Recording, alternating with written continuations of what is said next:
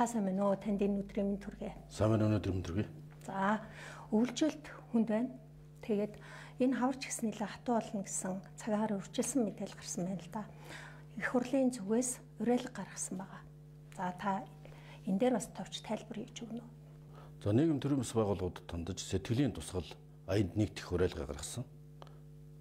Зовх цагт нөхрийн чанар танигдна гэдэг бол малчин ардаа нүүдлийн соёл иргэншлийг тээгч одоо манай оршин тогтхон батгаалсан газар нутагт эзэн сууж байгаа. Олон асуудлуудаар бид малчтаа заавал туслах хэрэгтэй юм учраас малчт туслах аянд нэгтгэхийг уриалга гаргасан. За бас байгууллагууд хоёрын хөвшил иргэд олон нийт хэмжиж маш идэвхтэй өрнж байгаад баяртай байна. Ер нь оны өмнө бид 10 сараас эхлээд үйлчлэл хүндрэлтэй болох нэ төсөв төлөвлөгөөнд одоо суулгах за үйлчлэлийн бэлтгэл хангаас ихсүүлээд 10 11 12 1 сар сар болгон чуулган дээр бид тодорхой үүрэг чиглэлүүдийг өгч үйлчлэл хүндрэлж болцсоог байгаа учраас үүсдэг жил бэлтгэхээс ахуулаад сэрэмжлүүлэг анхааруулгыг өгөх цагаараа өрчсөн мэдээний чанар хүртээмж хүргэлтийг сайжруулах гэмт олон багц ажлыг өргөд алуурч өгөх хөгжүүлсэн. Бид нар 11 сараас хойш хөдөө орон тогт ажиллаж малчтай уулзаж явж ажиллаа. Ер нь олон аймгийн олон сумын малчтай уулзаж ярилцж байна. Ийм учраас энэ цаг үе бол ойрын хэдэн жил болоогүй юм. Онцгой хүнд гамшигын нөхцөл байдалтай засуудын нөхцөл байдал болж байгаа учраас одоо малчтай туслахаа энийг улсын их хурлын гишүүд төрийн байгууллагуудаа өрнүүлж ажиллаж байна. А нөгөө талдаа зарим хүмүүс энийг төр юу хин гэдэг л төрөөс бүх засгийн газараас бүс бүсээр нь комисс гаргаад ажиллаж байна. Бүх сайд нар ажиллаж байна. Улсад засгийн газрын нөөц хөрөнгө онцгой байдлын нөөц хөрөнгийг бид нар энэ эх оны төсөвд орчин сэргийлэх байдлаар бол нэлээ боломжийн хэмжээнд тавьж гисэн. За татвар матраас чөлөөлөх бус асуудлууд ч гэсэн яригдсан хэрэгжиж явж байгаа. Үндэсний олон нийтийн арайд телевиз ч гэсэн урлагийнхантай хамтраад бас нэг өдөр 10 цагийн эфирэд зориулаад ийм хандив аянг бас эхлүүлж байгаа. Тэгэхээр бүх монголчууд маань яг үнэхээр хөдөө орон нутгийн харуулт нь болсон Монгол улсын тусгаар тогтлон үндэсний аюулгүй байдлын бэлэг тэмдэг болсон малчтай туслах аяныг бол ингээд хаасаагүй өрнүүлж байгаа. Тэгэд бас таны энэ эхлүүлсэн ажилд амжилт хүсье. Баярлалаа. Одоо Монгол Улсын үндсэн хуулинд мастер үндэсний баялаг өгөө төрийн хамгаалтанд байна гэсэн залтууд. За дараагийн асуулт таны өчигдөр төрийн ордонд хийсэн мэдээлэлтэй холбоотой. Яг энэ мэдээллийг олон нийтийн шаардлагын үндсэн дээр хөрөнгө оруулалтын тухай хуулинд гадаадын компани иргэнд газар өмчлүүлэх асуудлыг ерөнхийдөө ингээ хуулиар хориглох нь зүйтэй байна гэсэн шийдэл төрлөө гэсэн ойлголтыг олон нийт авсан ба та хэд маань яг хэрвээ хууль өнөхөрөө явцсан бол ямар эрсдэл гарна гэдгийг урьдчилан тооцоосон байна. Өөр нь Монгол Улсын үндсэн хуулинд газар эзэмшүүлэх харилцааг тодорхой заасан байдаг. Тийм учраас үндсэн хуультай нийцүүлж 2013 оны газрын тухай хуулийн төр холбогдох заалтыг хүчингү болгох саналыг иргэн номон урд нь захин парламентын захин мөрөглийн системд байршуулад 100 1157 төгрөг дэмжсэн. За энэс өмнө ч гэсэн бид Монгол Улсын ерөнхийлөгч ерхий сайж бидний энэ асуудлаар санал нэгдвэл байр суурьтай байсан. Мэдээж иргэдийн нэмжлэгийн дагуу энэ хуулийг санаачлаа засгийн газар санал үүс. Үүнээсээ гадна ер нь газрын харилцааны газрын хуулийн хэрэгжилтэнд ээж бүрэн хэн шалгалт хий. Ашигт тултмлын лиценз, газар, баялагтай эзэн Монгол олон асуудлуудыг бид дэвшүүлж яддаг мөртлөө үе үеийн засгийн газар үеийн үед л нийслэлийн газар холбоотыг шалгая үзий харъя гэдэг байсан боловч бодтой хэрэгж байгаа юм бэл. Ямар ч бас бид хян шалгалтын төр хороо байгуулж нээлттэй сонсгол зохион байгуулж нийт газар болголт ашигт тултмлын лиценз болголт тэр үтгэл аим сумын төвшөнд олгож байгаа газар болголтын асуудал ч гэсэн байнга хилэмд байгаа болж байна. Би дээд бүрийн судалгаа хийж үзсэн. Ийм учраас газрын эд зүрэн хяналт шалгалтыг хяналт шалгалтын сонсгол зохион байгуулах нотлох баримтыг шинжин судлах хийж бүрэн одоо хяналт шалгалтын хороо байгуулж ажиллах ийм шийдвэрийг гаргаад ажлын хэсэг захирамжийг гаргаад ажилд нь оруулсан. За энэ хүрээндээ мэдээж тэр газрын хуулинд байгаа газар эзэмшүүлэх гадаадын иргэн аж ахуй нэгж газар нэг 100 жилээр эзэмшүүлэх ашиглагтай холбоотой асуудлыг нэмгсэх хориуж хаалт тавья. Эзэмшигтэй холбоотой асуудал. Тэрийг цуцалчих гэсэн, хүчингү болгочих гэсэн юм залт байна. Тэгэхгүй энэ дээр хоёр янзын ойлголт яваад байгаа юм. Нэг нь одоогийн өргөн барьсан хөрөнгө оруулалтын хуулинд байгаа юм шиг. Одоогийн хөрөнгө оруулалтын хуулинд бас нуухыг авах гэдэг үдийн цохолтоо өгөхчээр дотоод иргэн аж ахуй нэгжид газар эзэмшүүлэх эрхийг нь хязгаарлалцсан юм шиг ойлголттой. Өмнөх хуулинд нь болохоор гадаад иргэнд эзэмшүүлж болохоор юм шиг ойлголттой мөртлөө дотоод иргэн аж ахуй нэгж хөрөнгө оруулагчид эзэмшүүлэх гадаад иргэн аж ахуй нэгж ашиглуулна гэдэг протоколд тусгасан. Хуулийн тайлбар нь бодтой хэрэгжээг яг бол газрын хувьд тусаагүй учраас энэ бол хэрэгжээг. Гэхдээ энэ хэрэгцсэн юм шиг иргэд ойлгоод байгаа учраас өмнө говьд бахан гадны иргэд газар авсан байна. Бус газар юм байгаа юм уу? Энэ бүх хэрэгэлзээг тайлж улсын хэмжээний Монгол улсынхаа бүх газар нутгийн бүрэн бүтэн байдлыг хэн шалгах зорилготой ажлын хэсгийг байгуулсан. Ажлын хэсэг маргааш 12 цагаас суралтан тэр ажлын хэсэг маань бас хууль хяналтын байгууллагууд, эрдэмтэн судлаачид, төрийн бас байгууллага, за дата, big data, одоо компьютер хэмэл оюухан ашигласан иж бүрэн судалгааны ажлыг хэсэгчлэх. Өчигдөр та хэдийг мэдээлэл хийсний дараа Монгол Улсын хөрөнгө оруулалтын дээр гадныхныг ингээд газар дээр нь холбогдуулаад хориг саа тавьчихаар хөгжил цэцэглэлтээс хойшин татлаа штэ. Дахиад нөгөө нэг байдал нь хിവэрэ үргэлжлэх нь баяжтай гэсэн шүүмжил хэлжсэн нэг хэсэг байсан. Та энэ хүмүүст ямар тайлбар хэлэх вэ? Гэхдээ Монгол улс бол гадаадын хөрөнгө оруулалт маш чухал нэгдүгээрт. Хоёрдугаар гадаадын хөрөнгө оруулалтыг татах талаар бүх шаардлагатай хэмжээг авах хэрэгтэй. Бүх асуудал хуулиндаа байгаа асуудал биш. Тодруулж хэлбэл хууль хэрэгжилтэндээ шал асуудал байдаг. Хөрөнгө оруулагчдын гомдол саналыг хянан судалж үзэх юм бол бүх хөрөнгө оруулагчдын тайлан судалгаан дээр хөрөнгө оруулалтын оруулсан хөрөнгөний найдвартай байдал хамгаалагдсан байдал. Юуны үйлчинд ашиг орлохоос өмнө нэгдүгээр хөрөнгө нь хамгаалагдсан байх хэрэгтэй шүү дээ. Тэгтэл дотоодын хөрөнгө оруулагчд ямар байна? Гадаадын хөрөнгө оруулагчд ямар байна? Тэгтэл хоёулынгийн нэг хашаанд оруулчих болж байгаа юм уу? Тийм учраас хөрөнгө оруулалтыг бол дэмжих эрх зүйн орчныг сайжруулах хамгийн гол нь доктортой байх хэрэгтэй. Хөрөнгө нь хамгаалагдсан байх хэрэгтэй. Татврын шинжилж, татврын таатай орчин мөрдүүлэх хэрэгтэй. Твшилтэд одоо тэргүүний тэргүүлэх салбаруудад бас боломжийг илүү олох хэрэгтэй Ингээд дэлхийн улс орнуудын гадаадын хөрөнгө оруулалтыг дэмждэг нийтлэг механизмтай адил төстэй хэлбэрээр хэрэгжүүлэх ёстой. Тэгэхээр энэ дээр бол илүү босонгуй болох шаардлагатай. А түүнээс газар ашиглах асуудал болоод лицензээр оюутлогож ашиглаж байна. Гадаадын өчтөчтөн компани ухаан лиценз аваад ашиглаж байна. Тэр битгийл хөдөөж хон газар ашиглаж болно. Эзэмшүүлэх, өмчлөх гэдэг өөр харилцааны асуудал. Иргэд өнөөдөр юунд бухимдаад байгаа вэ гэвэл баялагын хуваарилт шудраг биш байна л да. Хамгийн энгийн гэхэд хашааныхаа зориулттай 0.7 га газараа тэр болгон хүмүүс авч чадахгүй байна л да. Гэтэл зарим хүн дээр баг газрын 30-аад зөвшөөрөл өгдөг. Бүр газрын эвлэгийн зөвшөөрлж байдаг. Маш энгийн элемент гэхэд давсан дээр гэхэд нэг хүн дээр маш олон орд газрууд байдаг. Алтан дээр гэхэд. Энийг яаж засах юм бэ? Хамгийн чухал асуулт.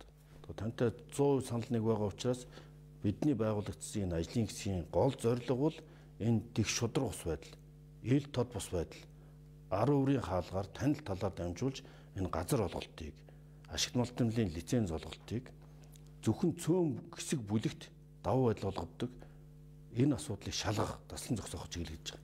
Одоо ингийн иргэд сумдж аймагт ярьж байна. Танил талтад нь газар олддог. Нийслэлийн газар олголтын үр дүн гэр өнөөдрийн нийслэлийн төвжил утаа бий болсон гэж хэлж байна. Ямар ч бас энэ бүхнийг шалгаж зэгслэх хэрэгтэй байна. Үрийн асуудал байна. Газын дэлбэрэлтийн асуудал байна. Энэ зохион байгуулалтгүй газар төлөвлөлтгүй энэ асуудлыг зэгцэх зорилгоор одоо бид өмнөх хөгжлийн банкны нүүрсийн сонсголуудыг зохион байгуулсан шигэ газрын асуудлаар хян шалгалтын сонсгол зохион байгуулж энэ эрх бүхий албан тушаалтнууд газрын 8 одоо хүн болгоны ярьдаг энэ сэдвийн далд яригадад исэн сэдвийг ил болгож эхэлж байгаа. Артныхаа мэдих эрхийг хангахад энэ хян шалгалтын төрөөрөө байгуулах энэ ажлын хэсгийн гол зорилго чиглэгдэнэ Өөрөөр хэлбэл энэний цаана одоо асар их хулгай луур байна гэсэн иргэдийн бухимдал байдгийг үнэлтэй гэж үзэж байгаа. Яагаад гэвэл бид сая хэмэл оюухан холбогдох экспертүүдийн энэ ажлын хэсэг байгуулахын тулд судалгааны ажлыг өргөн хэмжээнд хийсэн. Одоо 8 иргэн дээр жишээл 30-аас дээш газрыг хувийнхаа нэр дээр шүү дээ авсан байна. Гэтэл энгийн иргэн 0.7 газар авч чадж гин гэж судалгаа явуулахаар хөдөөд 0.35 га шүү дээ. Хотод 0.107 га газараа авах нэтгийл хөдөөд 0.35 гагаад авч чадаагүй улсууд зөндөө байна. Тэгэхээр энэ газрын харилцаа маань ямар байна гэдэг нь энгийн зэвсэглээг үнүүдээр хүрл ойлгомжтой хүмүүс яриад байгаа асуудлыг ард нөлөөлөгчдийн байгууллага энийг одоо энэ иргэдийн санаачлагыг үндэслээд мэдээллийг үндэслээд хэн шалгалтын төрөөр байгуулах гэж байгаа. Энийг улсын хурлын дараа ганцаараа санаачлалцдаг гэж биш шүү дээ. Одоо өмнө иргэдийн саналыг үндэслэж хэн шалгалтын төрөөр байгуулах хуулийн өөрчлөлтийг бид өнгөрсөн онд хийсэн. Үндсэн хуулийн нэмэлт өөрчлөлтийн дагуу улсын хурл хийсэн. Иргэд маань дандаа шаарддаг байсан. Хуулийнхаа бэлтгийг хэн шалгаач. Тэгтэл тийм их байгаагүй. 2019 оны үндсэн хуулийн нэмэлт өөрчлөлтөөр үндсэн хуулийн 28 2-д 19-д бид нар одоо нийтийн ашиг сонирхлыг хэмжсэн тодорхой асуудлаар хуулийн бэлтгийг хэн шалгах зорилгоор хэн шалгалтын хороо байгуулах үндсэн хуулийн нэмэлт өөрчлөлтийг оруулж иж энэ нээлттэй сонсгол энэ хэн шалгалтын хороо байгуулах хэрэгцээ орчныг бүрдүүлсэн. Энийний дагуу энэ ажил хөгжлийн банкны нүүрс одоо эмийн асуудлаар явж байна энэ гин шалтгаан ороод байгуулж ажиллаж байна. Зарим хүмүүс Улсын хурал маань хөгжил дэвшлэр хойтол нүүрсийн сонсгол хийлээ, хөгжлийн банкны сонсгол хийлээ гэж яриад байгаа шүү дээ. Үр дүн хаана вэ? Хэнийг бариад хорсон бай? Хинээс өмчийг буцаагаад даваад эргээд эдийн засгийн эргэлтэнд одоо шудраг хувирлтын системд оруулсан бэ гэдэг асуултыг бас тавьдаг л та. Тэгээ орчуулсан үндсүүлийн үндсэн зарчим бол улсын хурлууд шүүх байгууллага ш. Эрх мэдлийн хувирлт. Бид хууль тогтоох байгууллага. Хуулигаа бэлтгийг хэн шалгах, ард түмний мэд хэрхийг хангах нь ард нийтлүүлэгчдийн байгууллага. Харин тэр ял оноодог одоо цагаатгах, яллах талыг баримтдаг шийдвэр гаргадаг байгууллага шүүх. Бид нээлттэй сонсголуудаар цуглуулсан нотлох баримтыг хууль шүүхийн байгууллагуудад хөргүүлж байгаа. Өөрөөр хэлбэл мэдээллийг ил тод болгож байгаа. Ил тод болгоод хөргүүлж байгаа. Тэр нотлох баримтыг хэрхэн үнэлэх нь шүүхийн бүрийн их асуудал. Бидэнд тэрэнд нөлөөлж болохгүйгээд үндсэн хуулинд бичсэн. Хууль тогтоогч нөлөөлж байна. Гэхдээ үндсэн хуулийн нэмэлт өөрчлөлтөөр бид нотлох баримтыг үндслэлгүйгээр яллах цагаатах аль нэгэн баримтаар авч үзэхгүй байх үгүй гэдгийг шүүхийн захлагын хорог хэн шалгахаар шүүхийн захлагын хорог байгуулсан. Тэгэхээр бид шүүхийн захлагын хороонд бидний нотлох баримтыг үндсэлтэй нотлох баримтыг одоо авч үзээгүй бол авч хилцээгүй бол яллах юм уу цагаатах талдаа авч хилцээгүй бол гомд гарах эрх нь ард иргэд болон улсын хурлын гишүүдэд улсын хурл байх. Бидний бүрдүүлсэн нотлох баримтыг ард түмний мэдсэн тэр нотлох баримтыг хилцэхгүй бол шүүх эзэн шатанд одоо шүүх процесс бүрэн дуусаагүй дээ. Хянах, давах, дээжих хүртэл процессууд явж байна. Тэр шат хүртэл бид тэр шатны дараа холбогдох шүүхийн сахилгын хороонд холбогдох баримтыг хөргүүлж энэ ард түмний нэхэд байгаа хүсээд байгаа шударгаас хариуцлагыг шаардж ажиллах. За тэгвэл газрын лиценз газрын доорх хэвлэгдэх баялагын яг энэ хилцүүлэг нээлттэй сонсгол хизээ болох юм байна. Энэ бас амаргүй ажил л да. Өөрөөр нотлох баримтыг шинжилэн судлана гэдэг чинь хин нэг нэг хэлмэгдүүлж болохгүй. Шүүх хурлууч гэж хэлсэн шүү дээ нээлттэй сонсгол бол шүүх хурлууч. Хинийг ялж байгаа юм биш. Эсвэл цагаатгах гэж зорилготой байна. Ард түмний мэд хэргийг хангаж байгаа. Тийм учраас нээлттэй нийтийн сонсгол гэж нэрлэж байгаа. Айнуугаар бид нотлох баримтыг бүрдүүлээд хуулийн хэлтийн байгууллагад. Энэ хуучин ардын хяншил хорооч гэж зарим нь ойлгоод байна. Гэхдээ яагаад тэгэхээр иргэдээс бид мэдээлэл авч байгаа төр төмнүүдтэй гэдэг чинь арт түмний нүд ил тод байл шүү дээ. Хэв мэдээлэл ирсч гэсэн ялгааг энэ үргийг үүсгэж байгаа. Тэр мэдээллүүдийг нэгтэж аваад нотлоно гэж маш олон баримт мэдээллүүд артнаас хөгжлийн банк нүүрсийн сонсголт дээр ирдэг. Тэрнийг шинжээч томлж, хян шалгаж томж, хян шалгадаг, холбогдох байгууллагуудаас мэдээллийг цуглуулж авдаг. Ингээд бүтсэн нотлох баримтуудыг гэрчүүдийг дуудаж, мэдээлэл өгсөн хүмүүсийг дуудаж асууж одоо тодруулдаг. Ингээд бүрдүүлсэн нотлох баримтаа хууль хяналтын байгууллага, шүүхийн байгууллага шийдвэрж байгаа. Яг л энэ зарчмаар юм. Тийм учраас энэ дээр бол бид нэлээд ажил хийгдсэн учраас аа нэлээд хурдан хугацаанд 4 5 сарда багтаа багтаач хийхийг зорж байна. Яг гэвэл энэ олон жилийн маш олон мянган газар олголтын тэгээ улсын хэмжээний ашигт малтмлын лицензийн асуудал учраас илүү хэмжээнд яригдана. Зөвхөн ашигт малтмал биш, нийслэлийн газар олголтын асуудал шүү дээ. Тэгэхээр хичнээн мянган хүн хичнээн газар авсан гэдэг бол зөвхөн ашигт малтмлын лиценз гэхэд одоогоор 975 олборлтын үйл ажиллагаа явуулж байна. 1715 ашигт малтмлын лиценз татвар төлж байна.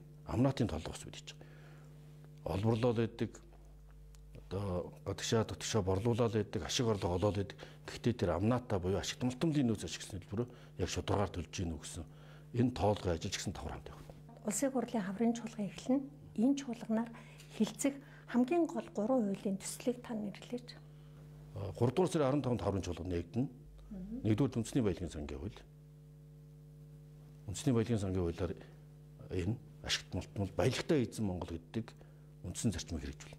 2019 оны үндсэн хуулийн нэмэлт өөрчлөлтөөр энийг үндэсний баялагын сан байгуулж одоо ба ирээдүйн үеийнхээ иргэдэд дэх шудраг хүртээмжтэй байна гэсэн агуулгыг хуульчилсан байгаль юм байна.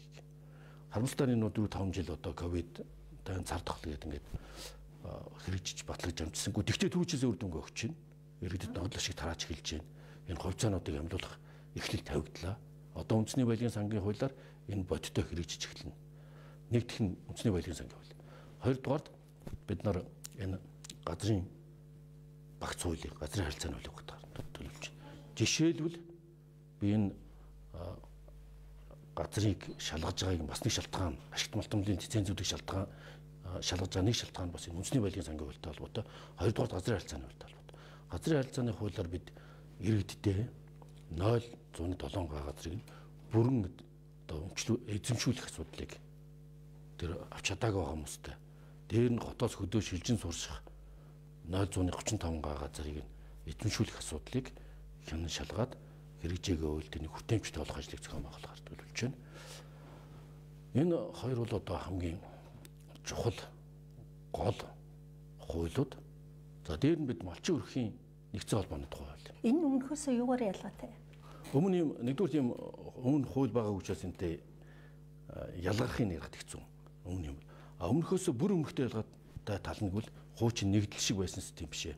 Зах зээлийн үеийн малчид арчилсан зарчмаар өөрийнхөө эрх шиг сонирхолтой тулгуурласан. Энэ бэлчээрээ хамгаалдаг, ганцуудын эрсдлийг даван туулдаг, инновац технологи хэрэгжүүлдэг, үндэсний үйлдвэрлэлээ дэмждэг, гадагшаа энэ нүүдлийн мал аж ахуйн экологийн цэвэр бүтээгдэхүүнийг экспортлох ийм зорилготой малчтын нийтлэг эршийг хамгаалдаг холбоог хуульчлан байгуулах гэж байна.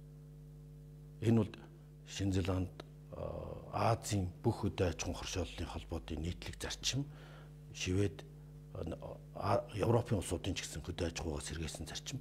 Өнөөдөр энэ талын нэг тарсан малчид өөр өөрийнхөө эрхшгийг хамгаалах нь битгий хэл зах зээлийн харилцаанд төлөрсөн журмаар оролцох ямар ч болцоогүй байна.